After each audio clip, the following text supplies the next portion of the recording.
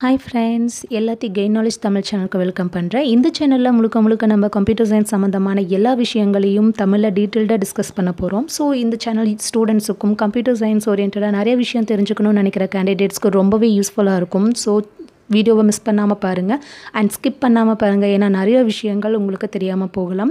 தென் இந்த வீடியோவில் நான் உங்கள் கூட ஆர்டிஃபிஷியல் இன்டெலிஜென்ஸை பற்றி சில விஷயங்கள் முக்கியமான விஷயங்கள் உங்கள் கூட ஷேர் பண்ண போகிறேன் so what is artificial intelligence அப்படின்னா இப்போ ஒரு மனுஷன் எப்படி யோசித்து ஒரு விஷயத்த செஞ்சு முடிக்கிறானோ அதை அப்படியே நம்ம ஒரு இயந்திரத்தை செய்ய வைக்க முடியும் அப்படிங்கிற கான்செப்ட் தான் ஆர்டிஃபிஷியல் இன்டெலிஜென்ஸ் தென் ஆர்டிஃபிஷியல் இன்டெலிஜென்ஸை சுருக்கமாக ஏஐ அப்படின்னு நம்ம இங்கிலீஷில் டினோட் பண்ணுறோம் இதை தமிழில் செயற்கை நுண்ணறிவு அப்படின்னு சொல்கிறாங்க ஸோ ஆர்டிஃபிஷியல் இன்டெலிஜென்ஸோட ஹிஸ்ட்ரி பார்த்திங்கன்னா இந்த டூ தௌசண்ட் நைன்டீன் வரைக்கும் அப்டேட்டடாக இருக்கிறதுனால ரொம்ப பெருசு.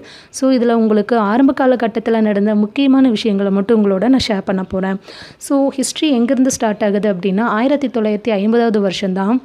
இந்த உலகத்துக்கு ஆர்டிஃபிஷியல் இன்டெலிஜென்ஸ் அறிமுகம். இந்த ஆர்டிஃபிஷியல் இன்டெலிஜென்ஸ் டீம் வந்துட்டு கம்ப்யூட்டர் சயின்ஸ் ஓரியன்டான டாப்பிக்காக இருந்தாலும் இதை டெவலப் பண்ணுற டீமில் எல்லா டிபார்ட்மெண்ட்டை சேர்ந்த வல்லுநர்களும் இருந்தாங்க அப்படிங்கிறது உண்மையிலேயே ஆச்சரியமான விஷயம். ஏன்னா இப்போது மனிதனுக்கு மூளை இருக்கிற மாதிரியே மிஷின் ஒரு வேலை செய்யணும்னா அதுக்கு ஒரு இயந்திர மூளை அதாவது எலக்ட்ரானிக் பிரெயினை நாம் செட் பண்ணணும். அப்போ அதுக்கு சாம்பிள் என்ன?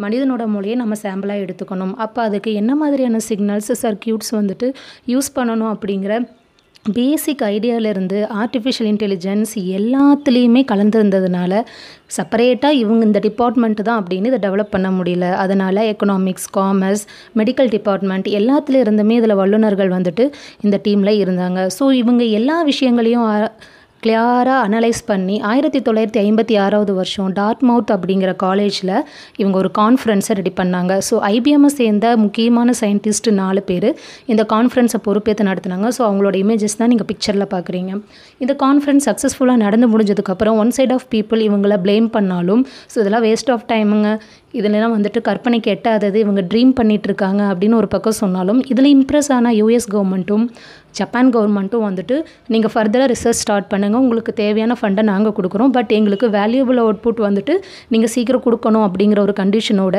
இவங்க ஃபண்டு கொடுக்க ரெடியானாங்க ஸோ அதனால் ஆயிரத்தி தொள்ளாயிரத்தி ஐம்பத்தி ஆறிலேருந்து ஆயிரத்தி தொள்ளாயிரத்தி எழுபத்தி ரெண்டு கிட்டத்தட்ட இருபத்தி ரெண்டு வருஷம் வருஷத்துக்கு ஸோ ஏஐ வந்து நல்லாவே டெவலப் ஆச்சுன்னு சொல்லலாம். ஏன்னா இது வரைக்கும் எழுத்து வடிவமாக இருந்த எல்லா விஷயங்களும் ஸோ மாடலாக ப்ரிப்பேர் ஆக ஆரம்பிச்சது. ஸோ அதனால் ஏஐ ஹிஸ்ட்ரியில் இந்த இருபத்தி ரெண்டு வருஷம் ஏஐயோட கோல்டன் இயர்ஸ் அப்படின்னு டினோட் பண்ணியிருக்காங்க தென் இந்த இருபத்தி ரெண்டு வருஷத்தில் ரெண்டு முக்கியமான விஷயம் நடந்தது என்னென்னா ஆயிரத்தி தொள்ளாயிரத்தி ஐம்பத்தி ஒன்றாவது வருஷம் நாம் இப்போது சிஸ்டமில் ப்ளே பண்ணுற மாதிரி செஸ் ப்ரோக்ராமை ஒன்று ஆயிரத்தி தொள்ளாயிரத்தி ஐம்பத்தி ஒன்றாவது வருஷமே இன்ட்ரடியூஸ் பண்ணாங்க. பட் அது அவ்வளோ எஃபிஷியன்ட் அப்படின்னு சொல்ல முடியாது.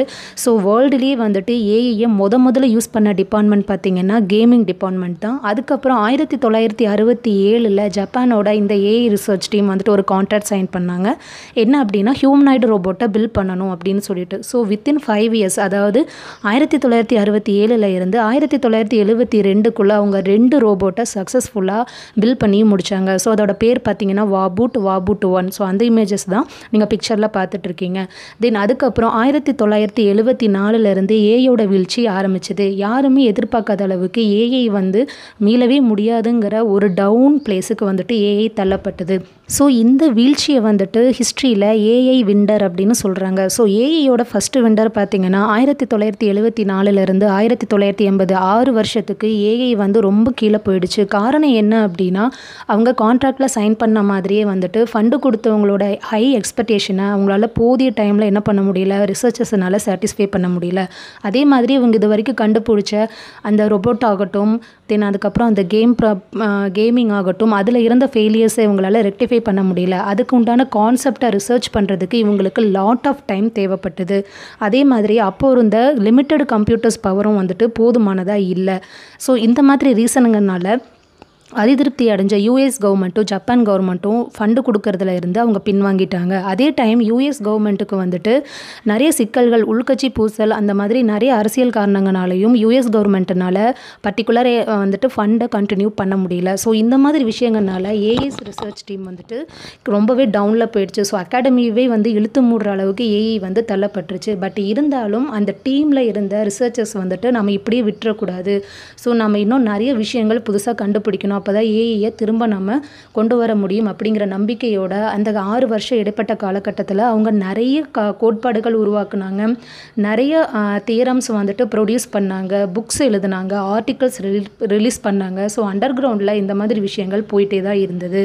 பட் சக்ஸஸ்ஃபுல்லாக அவங்க நினச்ச மாதிரியே ஆயிரத்தி தொள்ளாயிரத்தி எண்பதாவது வருஷத்துக்கு மேலே திரும்பவும் ஏஐ வந்துட்டு ஒரு புது உருவம் எடுத்தது. ஸோ அடுத்த ஏழு வருஷம் அதாவது ஆயிரத்தி தொள்ளாயிரத்தி எண்பதுலேருந்து ஆயிரத்தி தொள்ளாயிரத்தி எண்பத்தி ஏழு வரைக்கும் ஏஐயில் ஏஐ சம்மந்தமான புது புது டிபார்ட்மெண்ட்ஸ் உருவாக ஆரம்பிச்சது. இந்த காலகட்டத்தில் தான் ஏஐ ப்ரோக்ராமை வந்துட்டு எக்ஸ்பர்ட் சிஸ்டம் அப்படின்னு ஒரு புது பேரும் மா மாற்றி வச்சாங்க. இந்த டைமில் ஒரு முக்கியமான நிகழ்வு நடந்தது என்னென்னா ஸோ ஏஐயோட மறுமலர்ச்சியை பார்த்து இம்ப்ரெஸ் ஆன ஜப்பான் கவர்மெண்ட் திரும்பவும் அவங்களுக்கு ஒரு வாய்ப்பு கொடுத்தது. என்ன அப்படின்னா நீங்கள் வந்துட்டு அந்த காலகட்டம் பார்த்தீங்கன்னா நம்மளோட ஃபிஃப்த் ஜென்ரேஷன் கம்ப்யூட்டர்ஸாக வந்துட்டு பில் பண்ணிகிட்டு இருந்த பீரியட் அந்த பீரியட் அதாவது நைன்டீன் எயிட்டிஸ் டூ நைன்டீன் நைன்ட்டிக்குள்ளே அந்த பீரியட் வந்துட்டு.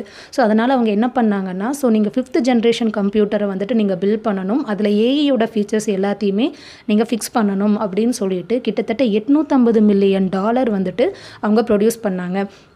எக்ஸ்பர்ட் சிஸ்டம் வந்துட்டு இவங்க உருவாக்கின எக்ஸ்பர்ட் சிஸ்டம் வந்து ஆல்ரெடி இருந்த ஃபெயிலியரை ஓரளவுக்கு வந்துட்டு முழுமையாக சால்வ் பண்ண முடியலனாலும் ஃபிஃப்டி பர்சன்டேஜ் ஆஃப் ப்ராப்ளம்ஸை சால்வ் பண்ணுச்சு. இந்த காலகட்டத்தில் தான் வந்துட்டு ஏஐ சம்மந்தமான sub கேட்டகரியான knowledge based system knowledge based engineering அப்படிங்கிற புது புது கான்செப்ட்ஸை வந்துட்டு உருவாக்குனாங்க. அதே மாதிரியே ஏஐ சம்மந்தமான சிறு சிறு தொழில்கள் சிறு சிறு கம்பெனிகள் டெவலப்மெண்ட் ரிசர்ச் சென்டர்ஸ் ஏஜென்சிஸ் அந்த மாதிரி நிறைய விஷயங்கள் கிட்டத்தட்ட இந்த ஏழு வருஷத்தில் டக்கு டக்கு டக்குன்னு எல்லாமே டெவலப் ஆகி முடிஞ்சுது.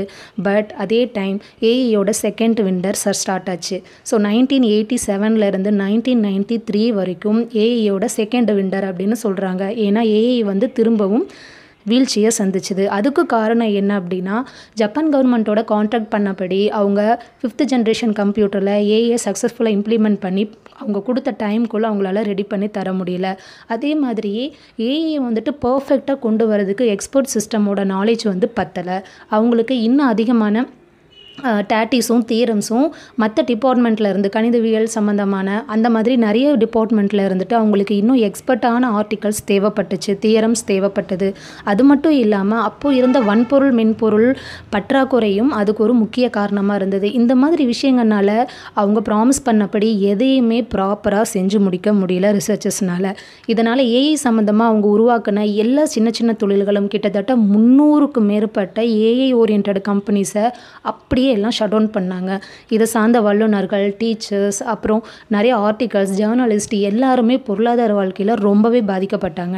ஸோ அதுக்கப்புறமா இவ்வளோ வீழ்ச்சிக்கு அப்புறம் திரும்பவும் ஆயிரத்தி தொள்ளாயிரத்தி தொண்ணூற்றி மூணுக்கு பின்னாடி திரும்பவும் ஏஐ வந்து மறுமலர்ச்சி பெற்றது. ஸோ அப்போ பெற்ற மறுமலர்ச்சியில் தான் ஏஐ வந்துட்டு இந்த டூ தௌசண்ட் நைன்டீன் வரைக்கும் அபரிவிதமான வளர்ச்சியை நோக்கி இன்னும் பயணிச்சிட்ருக்கு ஸோ என்ன காரணம் அப்படின்னா ஆயிரத்தி தொள்ளாயிரத்தி தொண்ணூற்றி மூணுக்கு அப்புறம் தான் நம்ம வேர்ல்டுக்கே இன்டர்நெட் இமெயில் அப்படிங்கிற எல்லா எல்லா விஷயங்களுமே ஸ்டார்ட் ஆச்சு. ஸோ நைன்டீன் நைன்டி ஒனில் தான் ஃபஸ்ட்டு எஸ்எம்எஸ் வந்துட்டு சென்ட் பண்ணாங்க. ஃப்ரம் அமெரிக்காவில் இருந்துட்டு. ஸோ அந்த காலகட்டத்தில் இன்டர்நெட்டும் இமெயிலும் வளர்ச்சி அடைஞ்ச டைமில் தான் வந்துட்டு உலக பொருளாதார வகையிலையும் சரி நெட்ஒர்க்லேயும் சரி ஏஐயோட தேவை ரொம்ப அதிகம் அப்படிங்கிறது பொருளியல் வல்லுநர்களுக்கும் வணிகவியல் வல்லுநர்களுக்கும் நிறைய டிபார்ட்மெண்ட்டில் அவங்க அக்செப்ட் பண்ண ஆரம்பித்தாங்க அதனால் வீழ்ச்சி அடைஞ்ச ஏஐயை திரும்பவும் இவங்க தட்டி எழுப்புனாங்க. ஸோ அப்போ ஆரம்பித்ததுலேருந்து டூ தௌசண்ட் லெவன் வரைக்கும் சொல்லப்போனால் டூ தௌசண்ட் ஃபைவுக்குள்ளேயே வந்துட்டு ஏஐயை ஒரு ஒரு ஒரு முழு சிலையாட்டமே அவங்க வந்துட்டு செதுக்க ஆரம்பித்தாங்க இது வரைக்கும் இருந்த எந்த ப்ராப்ளமும் இன் ஃப்யூச்சர் ஜென்ரேஷனை அஃபெக்ட் பண்ணக்கூடாது. ஃப்யூச்சர் ஜென்ரேஷனோட ஆக்டிவிட்டீஸை அஃபெக்ட் பண்ணக்கூடாது. ஸோ அப்படின்னு சொல்லிட்டு இது வரைக்கும் ஏற்பட்ட எல்லா சிக்கல்களையும் ஃபெயிலியர்ஸையும் ராங் அவுட்புட்டையும் அவங்க வந்துட்டு சரி பண்ணாங்க. ஸோ இதில் இம்பார்ட்டண்ட்டான நிகழ்வு என்னென்னா ஆயிரத்தி தொள்ளாயிரத்தி தொண்ணூற்றி ஏழாவது வருஷம் மே பதினொன்றாம் தேதி டீப் ப்ளூ அப்படிங்கிற ஃபஸ்ட்டு கம்ப்யூட்டர் செஸ் ப்ரோக்ராமை அவங்க வந்துட்டு உருவாக்குனாங்க. ஸோ இதுவும் வந்து ஐபிஎம் ஐபிஎம் தான் இந்த மிஷினுக்கும் வந்துட்டு பொறுப்பெடுத்துக்கிட்டாங்க. ஸோ அந்த பிக்சரை தான் நீங்கள் வீடியோவில் பார்த்துட்ருக்கீங்க ஸோ இந்த செஸ் ப்ரோக்ராமோ இந்த செஸ் ப்ரோக்ராமோட ஃபெசாலிட்டி என்னென்னா கிட்டத்தட்ட இரநூறு கோடி மூவ்ஸை செஸ் போர்டில் ஏற்படுற மூவ்ஸ் இரநூறு கோடி டைப் ஆஃப் மூவ்ஸை பர் செகண்டில் இதனால் என்ன பண்ண முடியும்னா ரிப்போர்ட் பண்ண முடியும். தென் அதுக்கப்புறம் இது ஏஐ ஓரியன்டான எல்லா இன்டெலிஜென்ஸ் ஏஜென்சிஸும் நிறைய நாலேஜ் பேஸ்டு சிஸ்டம்ஸும் கொண்டு வந்தாங்க. ஸோ அதுக்கப்புறம் ஏஐ வந்து வீழ்ச்சி அடைஞ்சதுங்கிற ஒரு கால ஒரு நிலைமையை வந்துட்டு ரீச் பண்ணவே இல்லை. ஸோ இப்படி எல்லா வீழ்ச்சிகளையும் மறுமலர்ச்சிகளையும் சந்தித்த ஆர்டிஃபிஷியல் இன்டெலிஜென்ஸ் இன்றைக்கி நம்ம டே டு டே லைஃப்பில் நைன்ட்டி பர்சன்டேஜ் ஆஃப் இடத்த பிடிச்சிருக்குது அப்படிங்கிறது உண்மையிலேயே ஆச்சரியப்படக்கூடிய விஷயம் அது யாராலையும் மறக்க முடியாது. ஸோ இது வரைக்கும் ஏஐயை பற்றி எந்த ஒரு ஐடியாவும் இல்லாமல் இருந்தவங்களுக்கு ஸோ இப்போ ஒரு ஐடியா கிடச்சிருக்குன்னு நம்புகிறேன் அது மட்டும் இல்லாமல் நாம் ஏஐ டெக்னாலஜி தான் டே டு டே லைஃப்பில் யூஸ் பண்ணிகிட்ருக்கோம் ஸோ அது நம்ம ஏஐயோட டெக்னிக் தான் யூஸ் பண்ணிகிட்ருக்கோன்னு தெரியாமையே நிறைய விஷயங்கள் நம்ம யூஸ் பண்ணிகிட்ருக்கோம் ஃபார் எக்ஸாம்பிளுக்கு நம்ம யூஸ் பண்ணுற ஏடிஎம் ஆகட்டும் நம்ம பேங்க் அக்கௌண்ட்டில் வந்துட்டு நம்ம யூசர் நேம் பாஸ்வேர்ட் கொடுத்து என்ட்ரு ஆகிற ப்ராசஸ் பே பேக்ரவுண்ட் ப்ராசஸ் எல்லாமே ஏஐ ஓரியன்ட் தான்.